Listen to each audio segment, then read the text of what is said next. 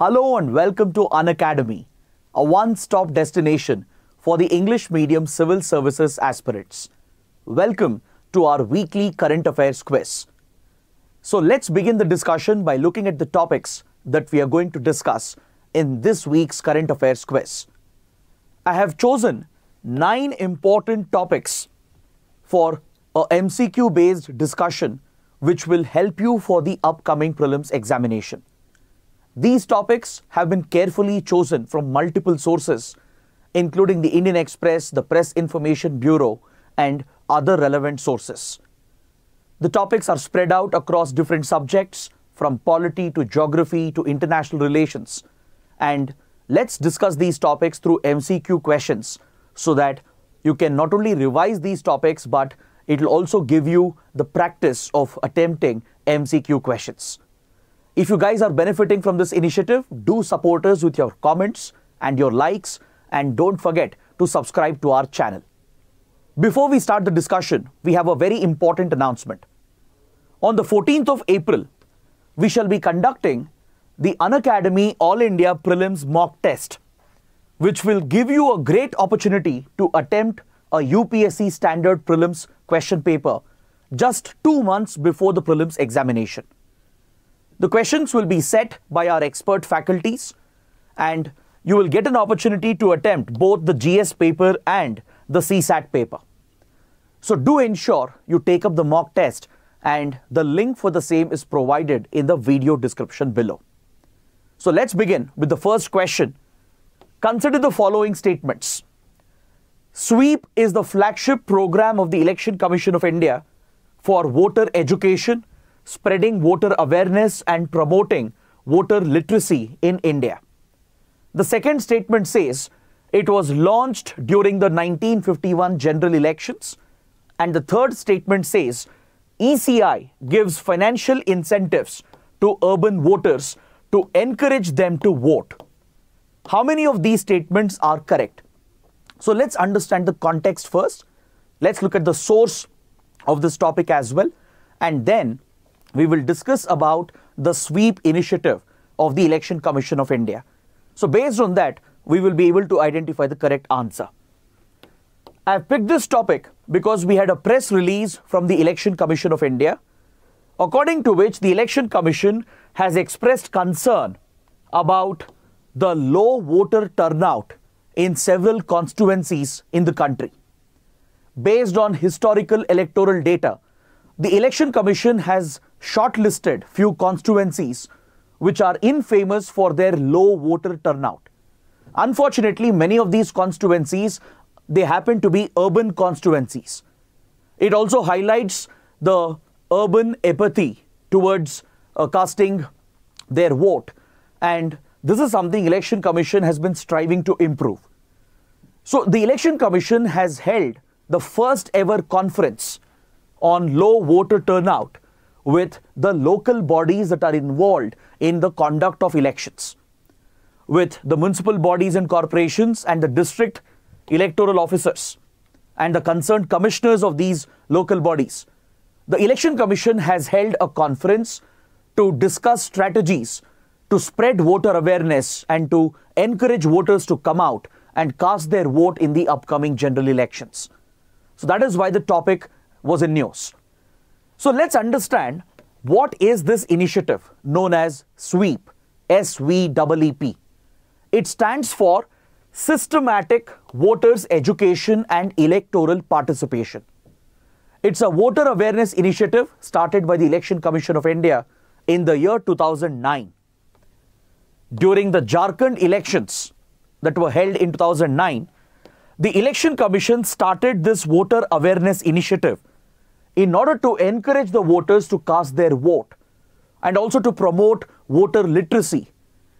So, this initiative has been a flagship program of the Election Commission since 2009. It works with all the concerned stakeholders, including the media and other concerned stakeholders, to promote the importance of casting your vote, to encourage the voters to step out and cast their vote on voting day. So Election Commission takes up many steps, many measures to achieve this. It works with media outlets, be it newspapers or uh, internet and social media based platforms or even uh, TV channels to spread the message and to communicate to the electorate. It will work with local authorities and it comes out with many innovative methods to promote the importance of voting. For example, the Election Commission works with the local service providers like the power distribution companies, water supply uh, boards, and in the bills, the monthly bills that are printed, a message is also printed below, which basically spreads out the message that voters have to step out and cast their vote, which is crucial in a representative democracy. So the Election Commission uses various such methods. It studies the electoral data, it looks at uh, the voter participation in every constituency in past elections, and it will shortlist some of the few, uh, constituencies where voting percentage has been historically low, especially few cities, few urban constituencies. They are shortlisted, and the Election Commission will work with all the stakeholders to promote the awareness. It will also work with schools and colleges, and even with the private companies as well to spread out the message to encourage the voters to come out and vote. So, all these measures are taken under this initiative called SVEEP. So based on this, we can easily identify which of the statements are correct. The first statement is definitely correct. But however, statement number two is incorrect. It was not launched in 1951. It was launched recently in 2009. The third statement is also definitely incorrect because election commission does not give a bribe, does not give any kind of financial incentive for you to come out and vote. It will only spread the literacy, the awareness, and encourages the voters in an ethical manner. So 2 and 3 are incorrect. So the correct answer is option A. Only one statement is correct. Now let me know how many of you got the right answer in the comments below. Let's look at question number 2. Which of the following is part of the Indian Coast Guard's mission? Is it responsible to protect our ocean and offshore wealth, including oil, fish, and minerals? To assist mariners in distress and safeguard life and property at sea? To enforce maritime laws with respect to sea, poaching, smuggling, and narcotics? To preserve marine environment and ecology and protect rare species? And to collect scientific data and back up the Navy during war? So five statements have been given. You need to check which of them are part of the mandate that has been assigned to the Indian Coast Guard. So let's look at the context and the explanation and then the answer becomes very clear. I've picked this topic because there was a press release by the Ministry of Defense. In fact, not just one. Over the last one week, there were three press releases by the Defense Ministry related to the Coast Guard. The Coast Guard was frequently in the news. It basically tackled a gold smuggling operation where a few smugglers from Sri Lanka were trying to smuggle gold into Tamil Nadu. The Coast Guard worked with the Directorate of Revenue Intelligence and Tamil Nadu State Police and intercepted these traffickers and prevented the smuggling operation. Plus, in Bay of Bengal, the Coast Guard was very active last week. It rescued few stranded fishermen from Bangladesh. It also rescued few Indian fishermen from Andhra Pradesh who were stuck on a fishing boat that had caught fire. So it rescued these fishermen and mariners who were in distress and also tackled organized crime. So that is why the Coast Guard was in news. So let's understand what exactly is the role of the Indian Coast Guard. The Coast Guard was established in the year 1978 through the Coast Guard Act. This security force of India, it's an armed force, it has legal backing. Technically, if you look at the functioning of the Coast Guard, it actually qualifies to be known as a paramilitary force because based on its mandate, it lies somewhere between your traditional armed forces and your paramilitary and police forces. But in the case of India, through the Coast Guard Act, the Coast Guard has been designated as one of the armed forces of India. It functions under the Ministry of Defense, under the Defense Ministry. So it has been assigned with a set of primary objectives. Its mission, right, has been clearly spelled out in the Charter of the Coast Guard, and this includes protection of India's maritime boundaries along with protection of India's exclusive economic zone. This is one of the primary roles of the Coast Guard. The Coast Guard is responsible for patrolling India's coastline, ensuring that our maritime boundaries are protected, and protect India's resources found in our exclusive economic zone, be it hydrocarbons, fisheries, minerals, whatever is present in the vast EEZ of India, it has to be safeguarded by the Coast Guard along with protecting the maritime borders. Apart from that, the Coast Guard is also responsible for assisting mariners who are in distress in the sea. Let's say there is an accident or a ship is about to sink or there is a fire incident on a ship. And if the mariners are in distress or if fishermen are stuck in, uh, uh, in a disaster, for example, let's say there is a cyclone and uh, fishermen are stuck at sea. So, safeguarding the mariners and fishermen, rescuing them, conducting those search and rescue operations during emergencies, during disasters, is also a responsibility of the Coast Guard. It is responsible for safeguarding national property at sea as well. There could be offshore assets like oil rigs and offshore windmills, etc so, safeguarding national property at sea is also one of the responsibilities of the Coast Guard. It is also responsible for enforcing all maritime laws related to the law of the sea, tackling all forms of poaching, smuggling, and trafficking, be it drug trafficking, arms trafficking, or gold smuggling, smuggling of any contraband into the country. So, all such illicit activities, organized criminal activities, are to be tackled by the Coast Guard, which includes piracy as well. It is also responsible for conserving and protecting the coastal and marine environment. It plays an ecological role in conservation of marine species and the coastal ecosystem, and it also plays a scientific role in assisting in oceanic research. It will work with the concerned scientific institutions to collect scientific research data which could be useful for oceanic, oceanic studies.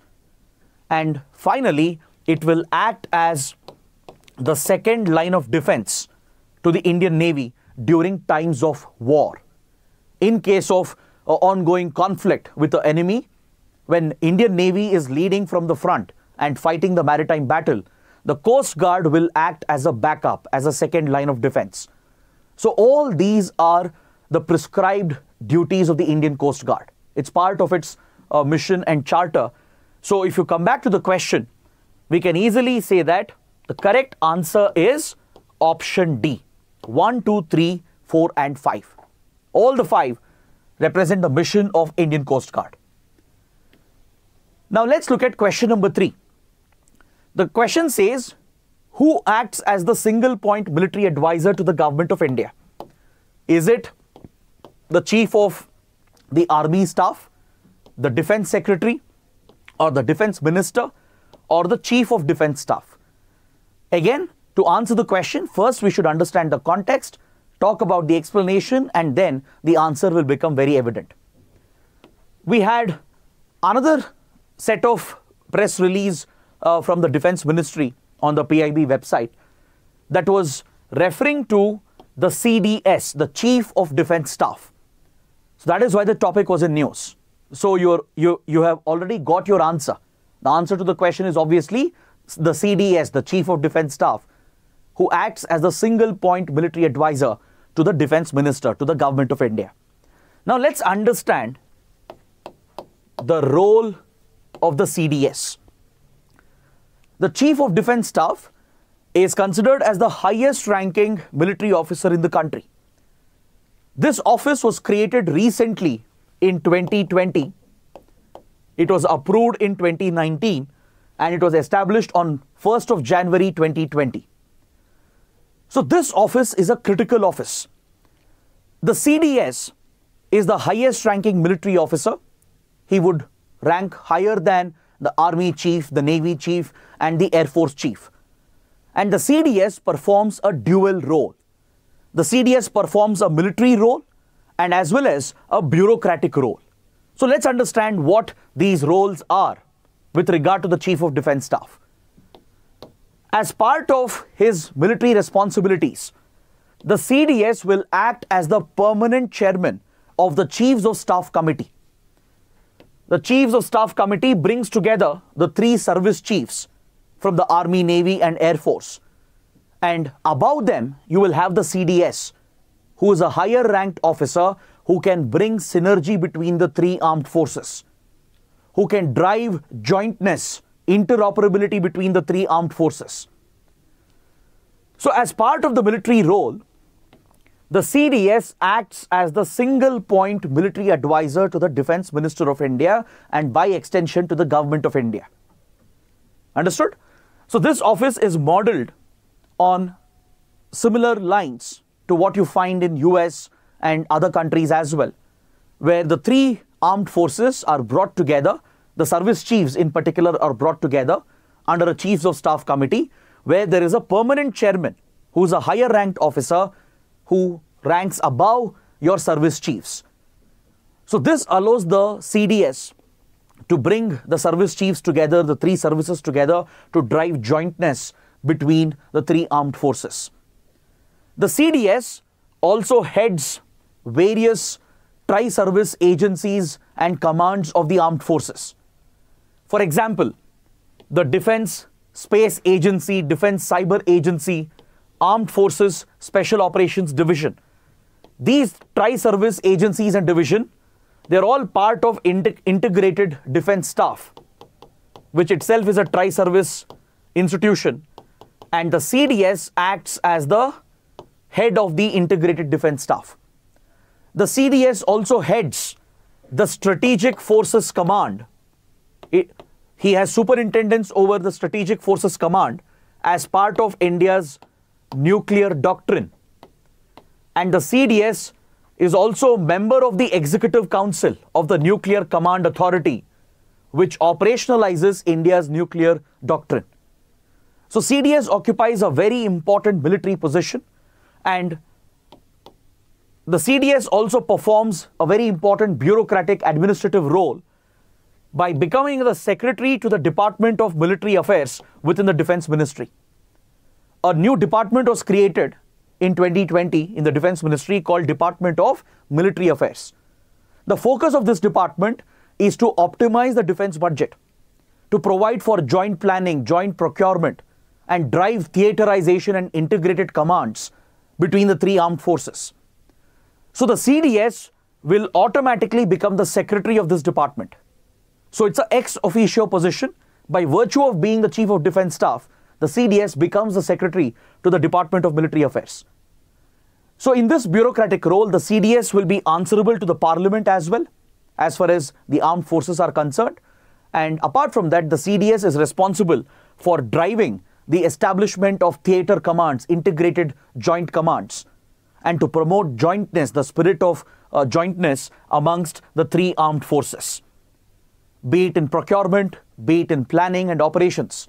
The goal is to promote jointness and create synergy between the three forces and also to optimize the defense expenditure.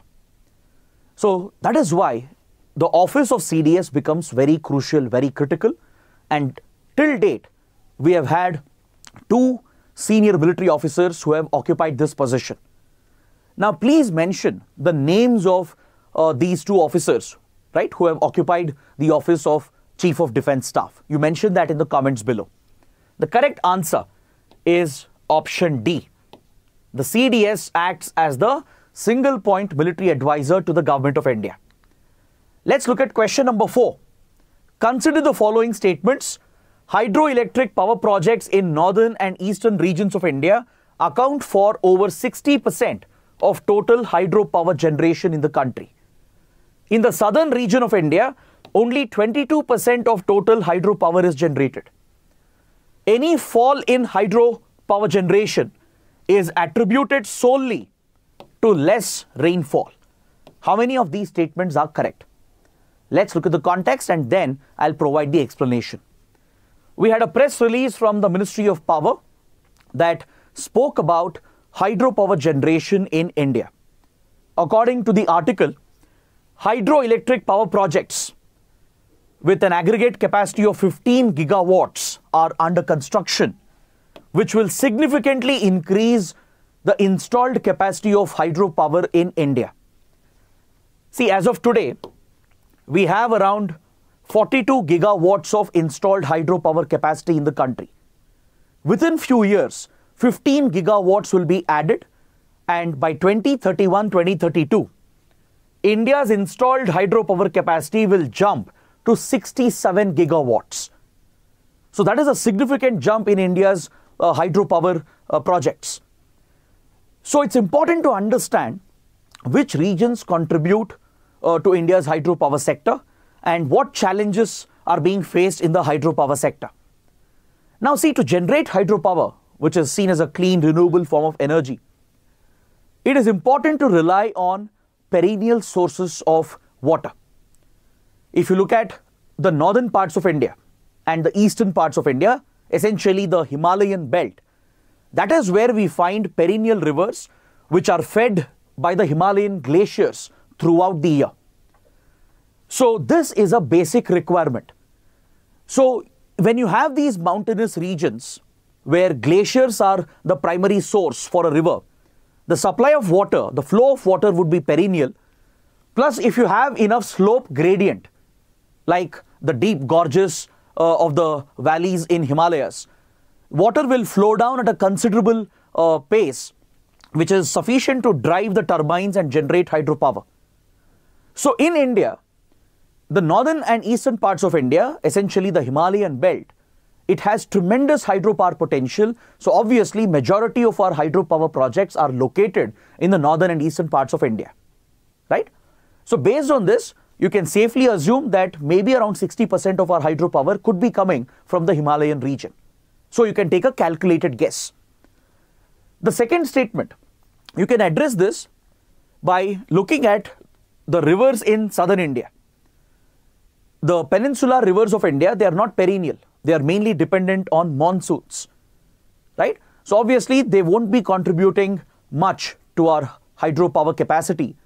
So second statement also, right, could be seen as correct, right? Even if you don't know the data, let's say, you can still take a calculated guess that, okay, from South India, hydropower projects might be contributing only 20% because of this logic, because of this explanation.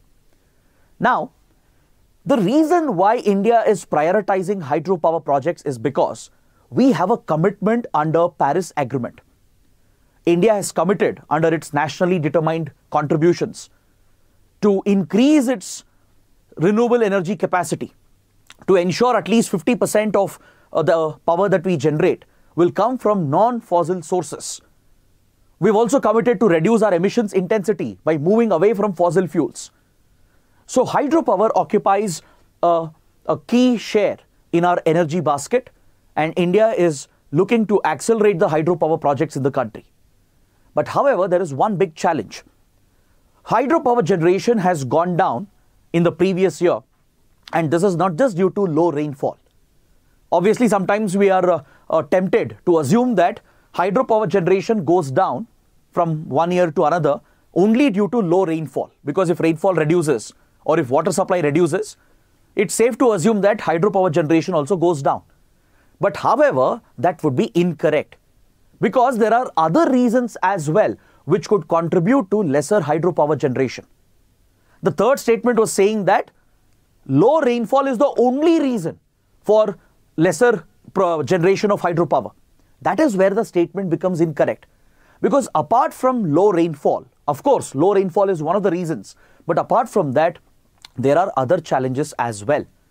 For example, in the Himalayan belt, landslides, cloudbursts, flash floods are very common. These disasters have affected hydropower plants in the region.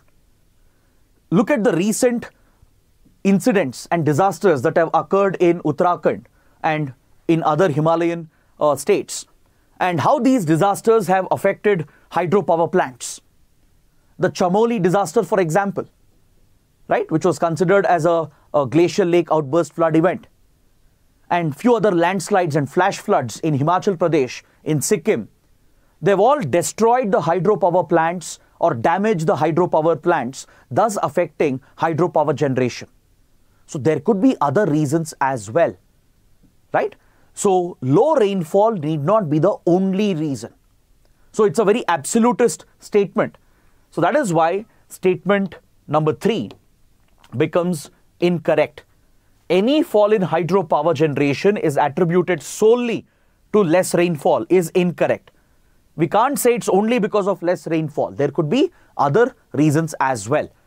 But it's safe to assume that statement 1 and 2 are correct because Himalayan rivers definitely contribute to more hydropower compared to the peninsular rivers. Also, data from Ministry of Power clearly shows that from southern regions of India, around 22% hydropower is being generated, whereas in the Himalayan belt, in northern and eastern parts of India, 60% of our, of our hydropower is being generated. So, two statements are correct. Option B becomes the right answer. Now, let's look at question number five. Which of the following statements are correct?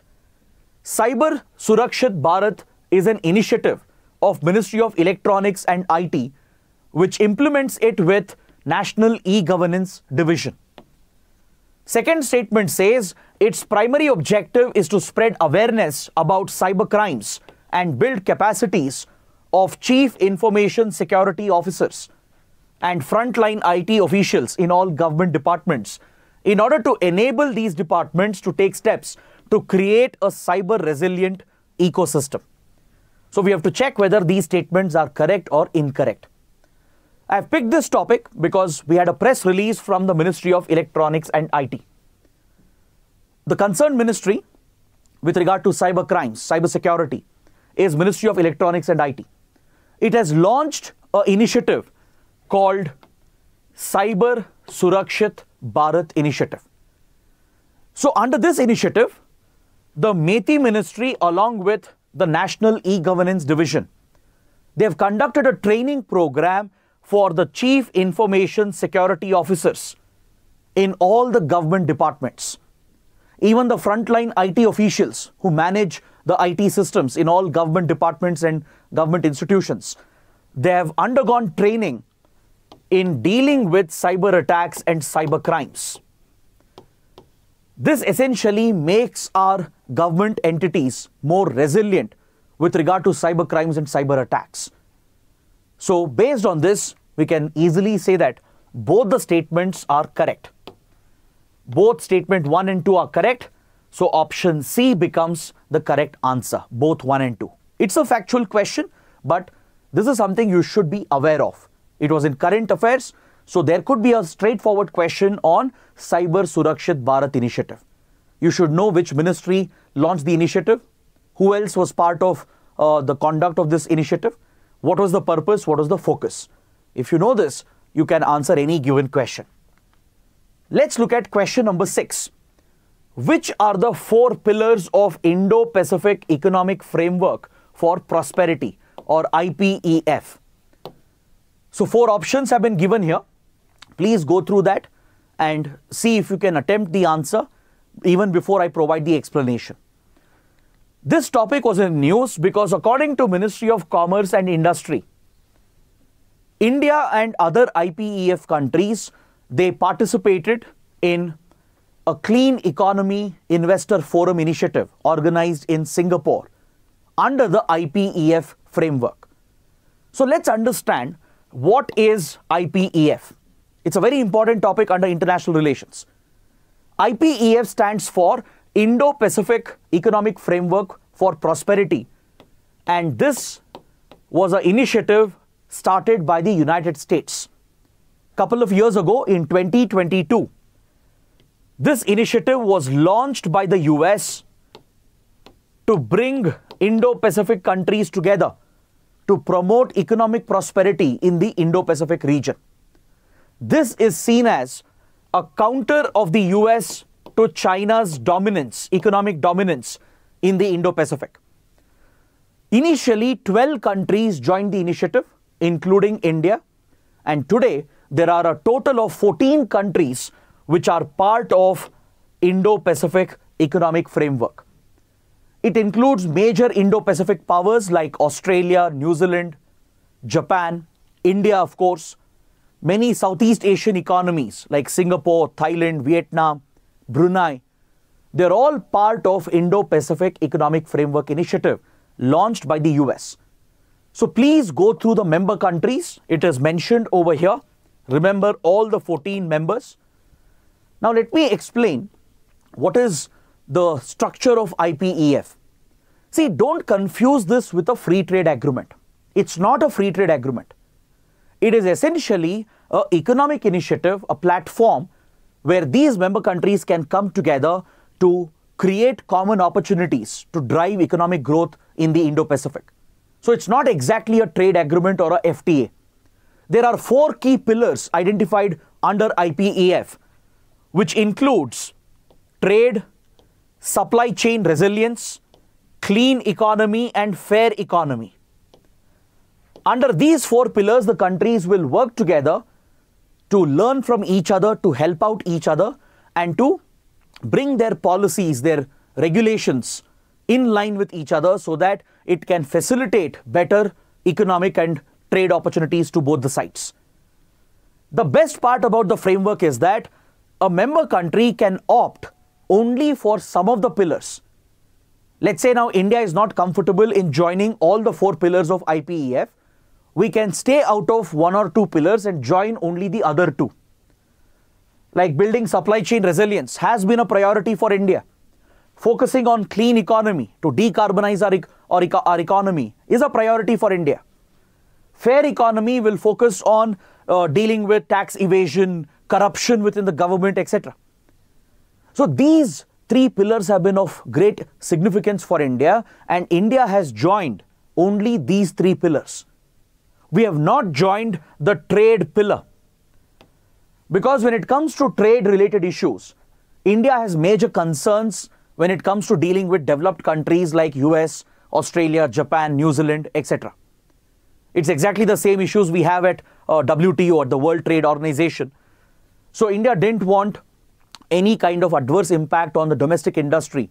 So we haven't joined the trade pillar of IPEF, but we are member we are party to the other three pillars supply chain resilience, clean economy, and fair economy. So, under this initiative, the member countries organized a clean economy investor forum uh, at uh, Singapore, and that is why IPEF was in news. So, if you come back to the question, the four pillars of IPEF are trade, supply chain, clean economy, and fair economy. The correct answer is option C. Now let's look at question number seven. The Cluster Development Program, CDP Suraksha of the center, basically the central government, is focused on promoting horticulture crops, tackling pests in cereal crops, boosting dairy production, or reversing the depletion of fish. So it's an important government initiative which you should be familiar with for your prelims. We had this article in the Indian Express that talks about CDP Suraksha Portal. CDP stands for Cluster Development Program and the Suraksha portal has been launched by the Department of Horticulture. It is led by the National Horticulture Board and it is a great initiative to help horticulture farmers in the country to provide instant subsidies to them so that it can boost horticulture production, which is a key component of Indian agriculture. If you look at India's gross uh, value addition that takes place in the agriculture sector, a large part of it comes from horticultural crops. Almost one third of the gross value addition in agriculture is coming from the horticulture sector. So this is where the government provides certain subsidies to the farmers who are growing horticulture crops like fruits and vegetables, for example. These are primarily commercial cash crops that can fetch a good income for the farmers. So the government provides subsidies here. For example, let's say farmers want to buy uh, seeds or seedlings or other inputs, right? which is uh, essential for uh, cultivating the horticultural crops. Now, previously, there was a big delay in transferring the subsidy to the bank account of the farmer. So, this is where the government is making a difference with a new portal called CDP Suraksha Portal. Now, farmers, all they have to do is they have to download this app. It's a web portal that has been designed, which is implemented by the National Horticulture Board. And farmers can place an order for all the inputs that they want through the portal itself. Let's say the farmers want seeds, uh, the seedlings, fertilizers, and, and other inputs which are needed to grow the horticultural crops. They can order all the inputs on the platform itself and they will have to pay only their share of the amount. Let's say 100 rupees is the total cost incurred by a farmer on all the inputs. And let's say government is giving 20% subsidy, up to 20 rupees the government uh, will pay. So the farmer has to pay only 80 rupees and for the rest, a voucher is issued. A e-rupee voucher is issued by the National Payments Corporation of India. So this voucher will now be available to the vendor who is supplying the inputs to the farmer. Once all the material is sent to the farmer, the farmer will have to open the portal again, take pictures and videos with geotag, right, so that the location is also identified and upload those photos and videos to confirm that the inputs have been delivered to the farmer at the correct location. Once this is done by the farmer, automatically now the vendor can use the e-rupee voucher to get this reimbursed. Essentially, the subsidy amount will go to the vendor, not directly to the farmer essentially. But for the farmer, it is instantaneous. The farmer need not pay that subsidized amount. The farmer will pay only for the remaining amount, right? So the farmer for the far, for the farmer it's like an instant subsidy. But on the vendor side a e-rupee voucher is issued and once the delivery is confirmed through uh, video and uh, pictures which are geotagged right? Once that is confirmed then the vendor can reimburse that e-voucher the e-rupee voucher right? It's basically a, a voucher system which provides for the subsidy to be delivered directly to the vendor and on the farmer's end it appears to be an instant subsidy transfer. So this is the initiative which has been launched by the government to promote horticultural crops in the country. So the correct answer is option A for promoting horticultural crops. That is the correct answer. Let's look at question number 8. The term Kalakadal seen recently in news refers to a GI tagged sari produced in Madurai region of Tamil Nadu, a unique dance ritual performed in coastal Kerala, a highly nutritious banana variant grown in Karnataka's western Ghats, a coastal swell wave that causes flooding in coastal Kerala. It's a very interesting topic actually. This term was in news because we had this article in the Indian Express that refers to a coastal phenomena, a geographical phenomena, which is specifically seen in the southwestern uh, part of Kerala. If you look at India's southwest coastline towards Kerala, there is this free, frequent recurrent phenomena that happens before the monsoon season. Right before the monsoon sets in, in the April to May period, in the pre-monsoon period, there is a coastal flooding that occurs in southwest part of Kerala, which is often confused with a tsunami. It appears to be like a tsunami where coastal waves called swell waves they gush towards the coastline and they cause significant damage to the coastal villages. It also leads to coastal erosion. See tsunamis are entirely different geophysical events. Tsunamis occur primarily due to uh, underwater events like an earthquake or a volcanic eruption or a landslide which uh, induces this uh, tsunami wave but Kalakadal is a very different phenomena. This is a result of the wind activity and the meteorological conditions present in the Indian Ocean right before the monsoon season. In southern Indian Ocean, we have high speed wind currents that get built up in the pre-monsoon season and this energy gets transferred to the water. So in the northern Indian Ocean, it results in swell waves or or high tidal activity, and as a result, coastal flooding will occur in few parts of Kerala. So this term, it's a Malayalam uh, word. It's made up of two words actually, Kalan and Kadal. Kadal refers to the sea or the coast. Kalan refers to a thief. So it's as if the ocean is coming like a thief and snatching away, snatching away something from us. So that is what the, the term refers to. So these two words join together to form Kalakadal, which is almost like a disaster that occurs frequently in Kerala in the pre-monsoon season. The coastal flooding does have an impact. It affects the coastal communities, leads to coastal erosion as well. And in fact, we even have an early warning system for this. India has implemented the swell surge forecast system. Just like we have a tsunami early warning system, even for the swell waves, there is a forecasting system implemented by INCOIS, the Indian National Center for Oceanic Information Services. It's the nodal agency for tsunami early warning as well, and it has implemented an early warning system for swe swell wave forecast as well. Is that clear? So that is why the topic is very important. The right answer is option D. It is a coastal swell wave that causes flooding, coastal flooding in coastal Kerala. Now, coming to the last question for today, consider the following statements.